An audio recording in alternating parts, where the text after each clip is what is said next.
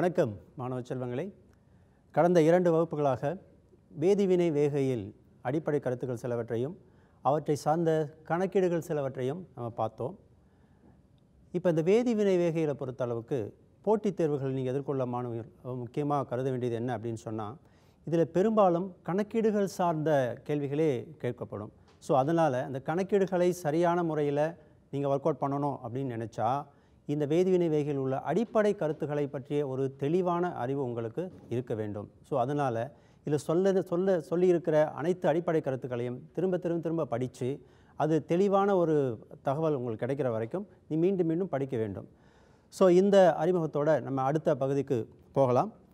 போன வகுப்பு இறுதியில் ஒரு வேதிவினை கொடுத்து அந்த வேதிவினையோட வேக விதியை எழுத சொல்லி நம்ம கேட்டிருந்தோம்.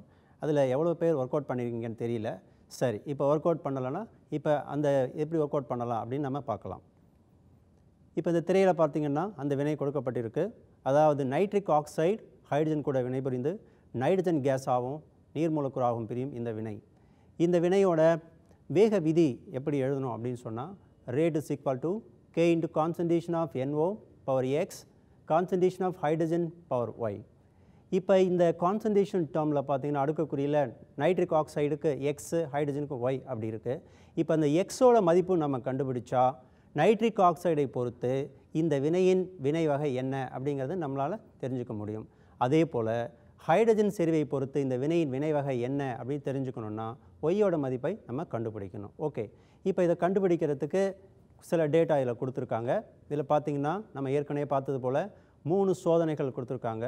ஒவ்வொரு சோதனையிலையும் ஒரு குறிப்பிட்ட செறிவு நைட் நைட்ரிக் ஆக்சைடு ஹைட்ரஜன் வைத்து அதோட தொடக்க வினைவேகம் கொடுத்துருக்குறாங்க மூணு சோதனையில். இப்போ இதில் சோதனை இரண்டு மற்றும் ஒன்று இதை ரெண்டையும் நம்ம கம்பேர் பண்ணி பார்க்கும்போது இதில் ஹைட்ரஜனோட செறிவு கான்ஸ்டண்ட்டாக வைக்கப்பட்டிருக்கு. அதாவது two point zero two point zero into ten power minus three இங்கே பார்த்தீங்கன்னா நைட்ரிக் ஆக்சைடோட செறிவு பார்த்தீங்கன்னா முதல் சோதனையில் five point zero into ten power minus three இருக்குது இரண்டாவது சோதனையில் ten point zero into ten power minus three இருக்குது அதாவது செறிவு இரு மடங்காக ஆயிருக்குது.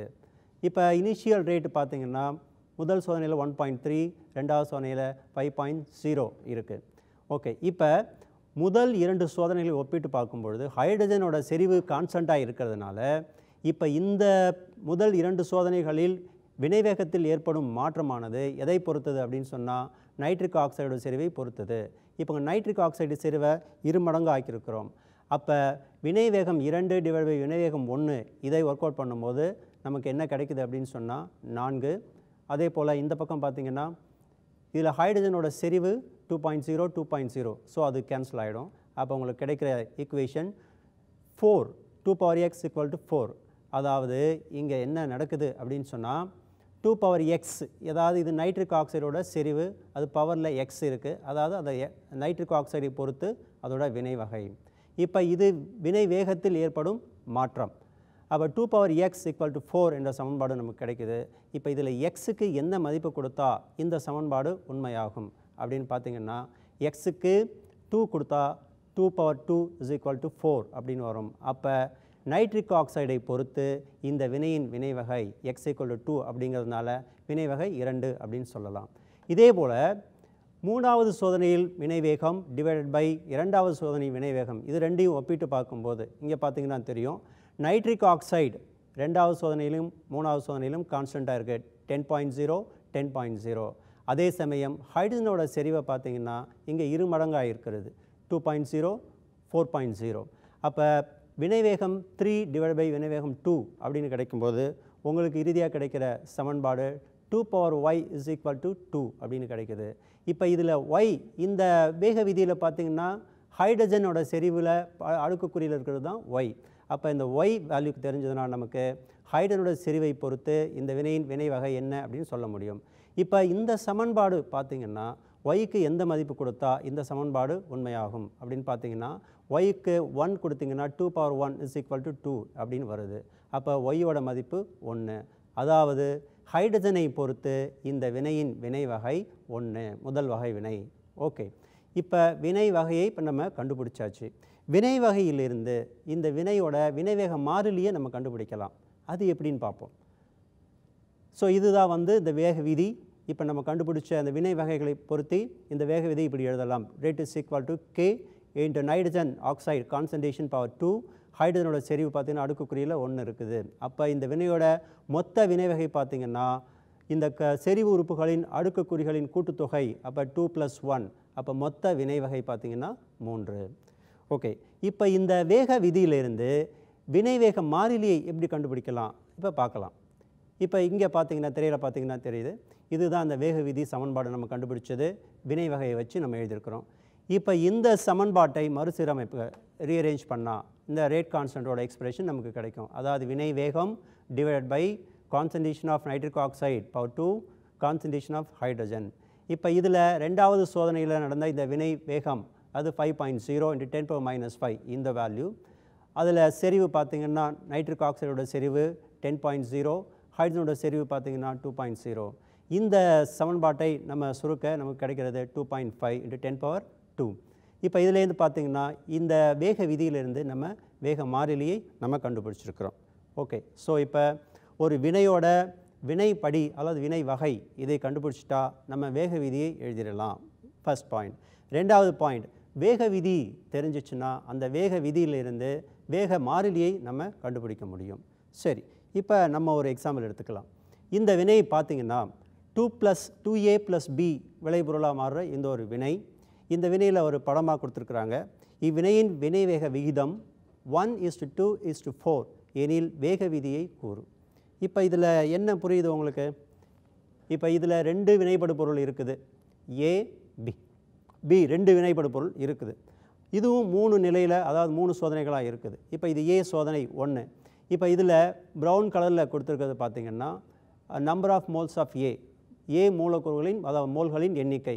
அதே போல் நீல கலரில் கொடுத்துருக்கிறது பார்த்தீங்கன்னா பி மோல்களின் எண்ணிக்கை. இது சோதனை ஒன்றில் ரெண்டாவது ஸ்டேஜில் பார்த்தீங்கன்னா இப்போ ஏயோட நம்பர் ஆஃப் மோல்ஸ் ரெண்டு மடங்காக அதாவது ரெண்டாக இருக்கிறது இங்கே நாலாக இருக்குது. ஆனால் பியோட மோல்கள் எண்ணிக்கை மாறவே இல்லை. அடுத்து மூணாவது சோதனையில் பார்த்தீங்கன்னா ஏயோட மூலக்கூறுகள் அதாவது மோல்களின் எண்ணிக்கை இரண்டாக இருக்குது ஆனால் பியோட மோல்களின் எண்ணிக்கை நான்காக மாறி இருக்குது சரி இப்போ இதை வச்சு இந்த வினையோட வேக விதியை நம்ம எப்படி எழுதலாம் அப்படின்னு பார்த்தீங்கன்னா வினை வேக விதி. இப்போ இது பார்த்தீங்கன்னா வினை வேகம் is equal to K into concentration of A power M concentration of B power N இப்போ இங்கே செறி உறுப்பு ஏயோட அடுக்குக்குறி வந்து எம் செறி உறுப்பு பியோட அடுக்குக்குறி என் இப்போ இதில் எம் கண்டுபிடிச்சிட்டா ஏயை பொறுத்து இந்த வினை என்ன வகை அப்படின்னு நம்ம சொல்ல முடியும். என் கண்டுபிடிச்சிட்டா பியை பொறுத்து இந்த வினை என்ன வகை அப்படின்னு நம்மளால் கண்டுபிடிக்க முடியும். இப்போ இதில் வினைவேக விகிதம் one is to two is to four அப்படின்னு நம்ம கொடுத்துருக்குறாங்க. ஓகே இப்போ இந்த கொடுக்கப்பட்ட இந்த த தகவல்களிலிருந்து நம்ம ஒரு டேட்டா டேபிள் நம்ம கிரியேட் பண்ண முடியும். அதாவது சோதனை ஒன்றில் இங்கே பார்த்தீங்கன்னா தெரியும். ஏயோட நம்பர் ஆஃப் மோல்ஸ் ரெண்டு. இங்கே பார்த்தீங்கன்னா ரெண்டு. அதே மாதிரி பியோட நம்பர் ஆஃப் மோல்ஸ் பார்த்தீங்கன்னா இங்கே ரெண்டு இருக்குது அடுத்து வேகம் எக்ஸ்னு வச்சுக்கலாம். அதாவது one is to two is to four அப்படிங்கிறனால ஒரு பங்கு வேகம். அடுத்து சோதனையின் இரண்டு வந்தீங்கன்னா இங்கே ஏயோட செறிவு இரு மடங்காக இருக்கிறது. ஆனால் பியோட செறிவில் மாற்றம் இல்லை. ரெண்டு தான் அப்படியே இருக்குது. ஆனால் வினைவேக விகிதம் என்ன இருக்குது one is to two is to four அப்போ ரெண்டாவது சோதனையில் ரெண்டு மடங்காகுது வினை. அப்போ ஒன்றாவது சோதனையில் எக்ஸுன்னா ரெண்டாவது சோதனையில் டூ எக்ஸ் ஓகே இப்போ சோதனையின் மூணுக்கு வரலாம். இப்போ சோதனையின் மூணுக்கு வரும்பொழுது ஏயோட செறிவு பார்த்திங்கன்னா ரெண்டு. அதாவது ஒன்றில் என்ன இருந்துச்சோ அதே தான் மூணுலேயும் இருக்குது. ஆனால் பியோட செறிவு பார்த்தீங்கன்னா ஒன்றில் ரெண்டு இருக்குது இங்கே பியோட செறிவு இரு மடங்காக இருக்குது அப்போ விகிதம் பார்த்தீங்கன்னா one is two is to four அப்படின்னு சொல்லும்போது மூணாவது சோதனையில் வினை வேகமானது ஃபோர் எக்ஸ் அதாவது நான்கு மடங்கு அதிகரிக்குது. இப்போ இதில் எந்தெந்த சோதனையில் எந்தெந்த வினைபடு பொருள் செறிவை மாறாமல் வச்சுருக்காங்க அப்படின்னு பார்த்தீங்கன்னா இப்போ வேகம் இரண்டு வேகம் ஒன்று இதற்கிடையில் ஒரு விகிதம் நம்ம கண்டுபிடிச்சா நமக்கு கிடைக்கக்கூடிய சமன்பாடு இது. அதாவது வேகம் ரெண்டு வேகம் ஒன்று இதை இதால் டிவைட் பண்ணுறோம் அதாவது டூ எக்ஸ் பை எக்ஸ் அப்போ எக்ஸ் எக்ஸ் கேன்சல் ஆகிடும் நமக்கு கிடைக்கிறது இந்த டூ அதே போல் செறி உறுப்பு ஏயோட கான்சன்ட்ரேஷன் பார்த்திங்கன்னா ரெண்டு மடங்காக இருக்குது டூலேருந்து ஃபோர் ஆகிருக்குது அப்போ இதோட செறி உறுப்போட அடுக்கக்குறி நம்ம ஈக்குவேஷனில் பார்த்தீங்கன்னா எம் ஸோ அதனால் டூ பவர் எம் அப்போ four by two whole power M அப்படிங்கிறதுனால நமக்கு இந்த சமன்பாடு கிடைக்குது. அப்போ இங்கே இந்த சமன்பாட்டில் எம்முக்கு எந்த வேல்யூ கொடுத்தா இந்த சமன்பாடு நமக்கு உண்மையாகும் அப்படின்னு பார்த்தீங்கன்னா எம்முக்கு வேல்யூ ஒன்று கொடுத்தா two power one is equal to two அப்போ இந்த சமன்பாடு உண்மையாகுது. So M equal to one அப்போ இந்த வினை ஏயை பொறுத்து முதல் வகை வினையாகும். அதாவது ஏயை பொறுத்து இந்த வினையின் வினை வகை ஒன்று அப்படின்னு சொல்லலாம். அப்படின்னா என்ன அர்த்தம் அப்படின்னா ஏயோட செறிவை ஒரு மடங்கு அதிகரிக்கும் பொழுது வினை வேகமும் ஒரு மடங்கு அதிகரிக்கும். அதாவது ஏயோட செறிவை அதை டபுள் ஆக்கும்போது அதை வினை வேகமும் டபுள் ஆகும். அடுத்து வேகம் த்ரீ வேகம் ஒன் அதாவது rate three by rate one இந்த மூணாவது சோதனை ஒன்றாவது சோதனையோட ரேட்டை நம்ம கம்பேர் பண்ணும்போது ஒன்றாவது சோதனையில் ஏயோட செறிவு ரெண்டு அதே போல் மூணாவது சோதனையும் ரெண்டு. இப்போ ஏயோட செறிவில் மாற்றம் இல்லை. இப்போ இந்த ரெண்டு சோதனைகளுக்கு இடையில் எந்த செறிவு மாறுது அப்படின்னு சொன்னால் பியோட செறிவு மட்டும் மாறுது. அதாவது சோதனை ஒன்றில் பியோட செறிவு ரெண்டாக இருக்குது சோதனை மூணில் பியோட செறிவு இரு மடங்காக்குது. ஆனால் வேகத்தை பார்த்திங்கன்னா இங்கே ஒன் எக்ஸாக இருக்கிறது இங்கே ஃபோர் எக்ஸ் அதாவது ஃபோர் டைம்ஸ் இன்க்ரீஸ் ஆகிருக்குது அப்போ இந்த ஈக்குவேஷனை நம்ம அப்ளை பண்ணும்போது நமக்கு கிடைக்கக்கூடிய சமன்பாடு four is equal to two power N இப்போ இதில் எண்ணுக்கு எந்த மதிப்பு கொடுத்தா இந்த சமன்பாடு உண்மையாக இருக்கும்? அப்படின்னு பார்த்தீங்கன்னா என் ஈக்குவல் டு டூன்னு கொடுத்தீங்கன்னா two power two four is equal to four அப்போ என் ஈக்குவல் டு டூன்னு கொடுத்தா நமக்கு இந்த சமன்பாடு உண்மை என்கிறது தெளிவாகிறது அப்போ இதுலேருந்து என்ன தெரியுது அப்படின்னு சொன்னால் இந்த எண் அப்படிங்கிறது இந்த வேக விதியில் பி செறி உறுப்போட அடுக்கக்குறி.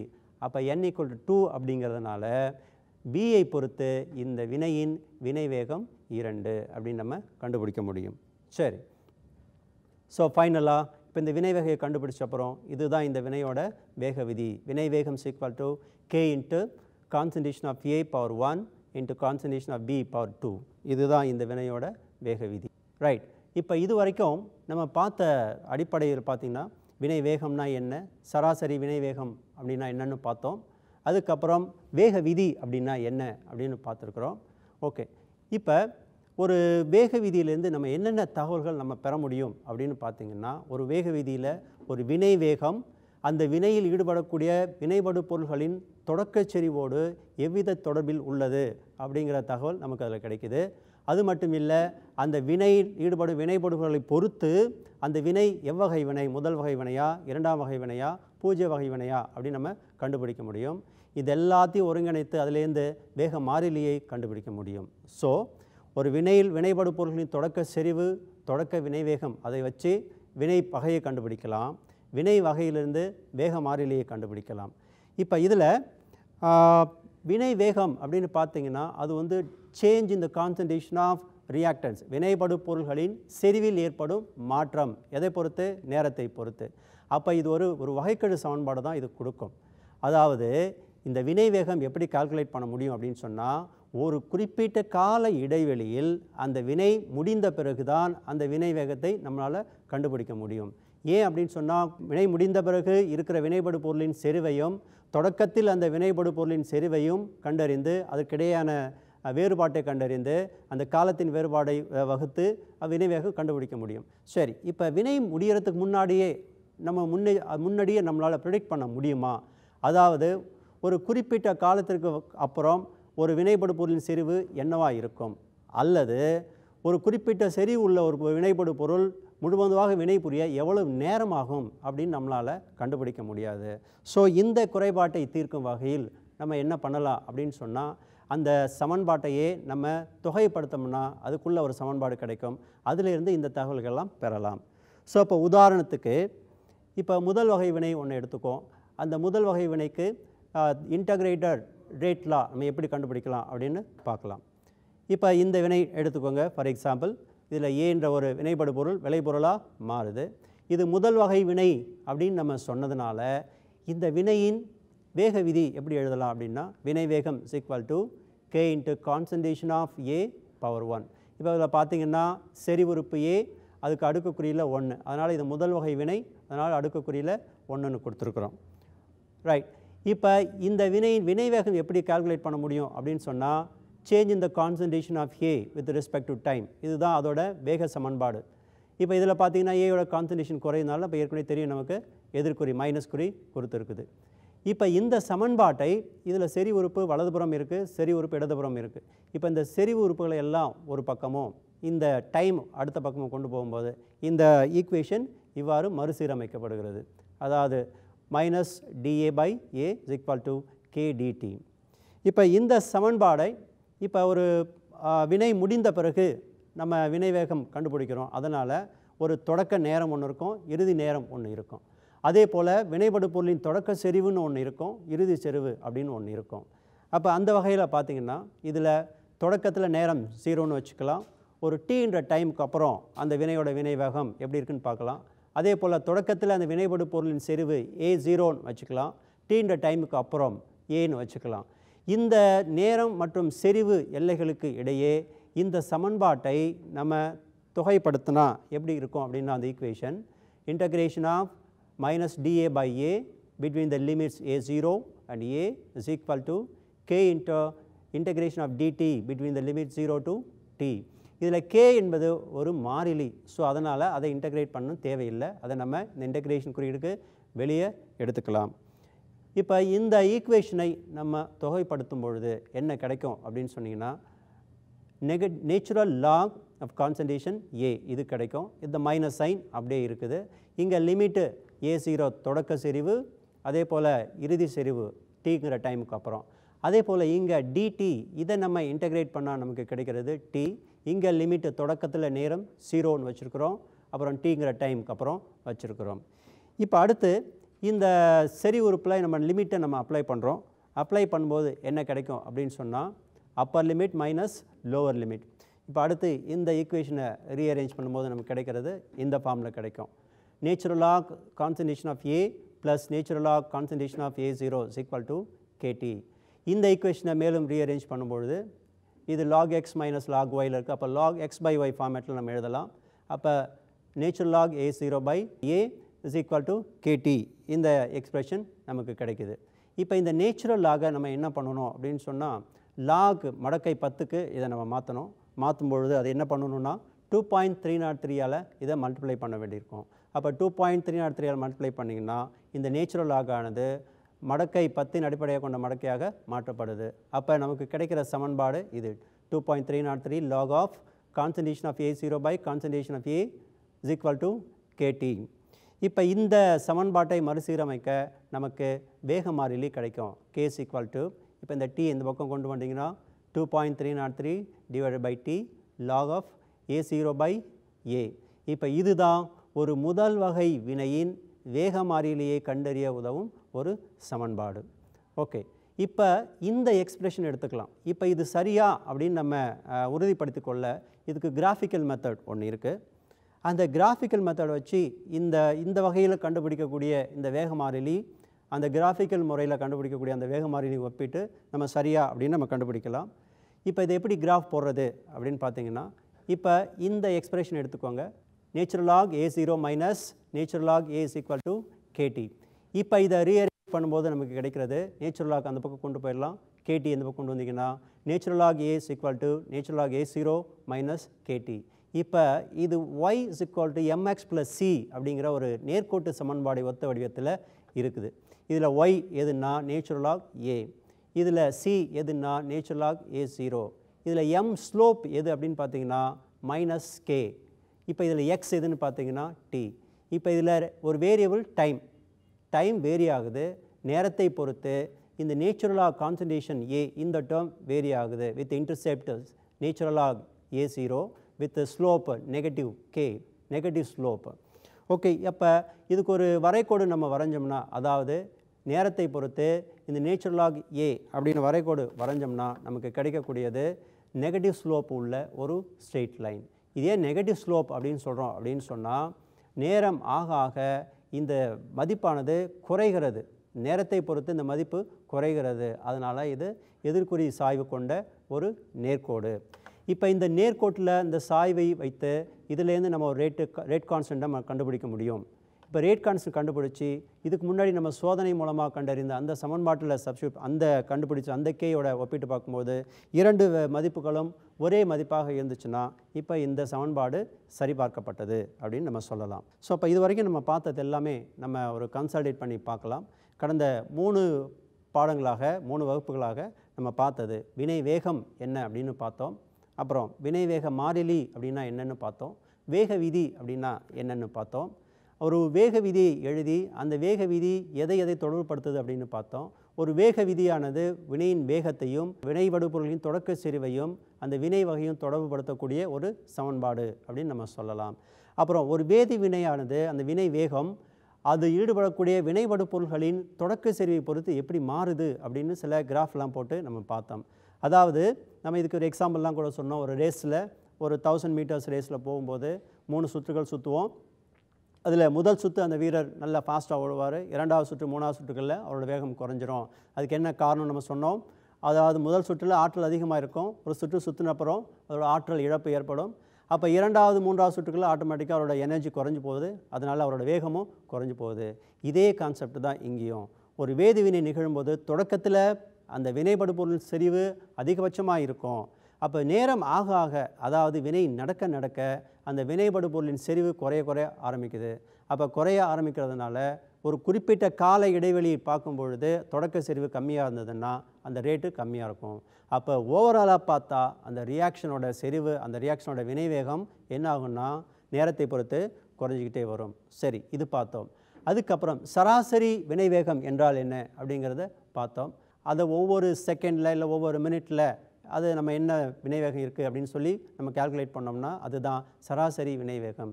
இது எப்பொழுதுமே வினை முடிந்த பிறகு அந்த வினை முடிந்து வினைபடு பொருளின் செறிவு எவ்வளோ இருக்குது அதோட தொடக்க செறிவு எவ்வளோ இருக்குது அதை வச்சு தான் நம்ம கால்குலேட் பண்ண முடியும்.